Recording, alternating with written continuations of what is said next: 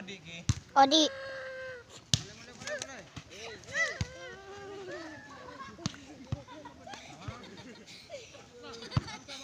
Hei, dia menyedih. Aku rasa nampak kamu.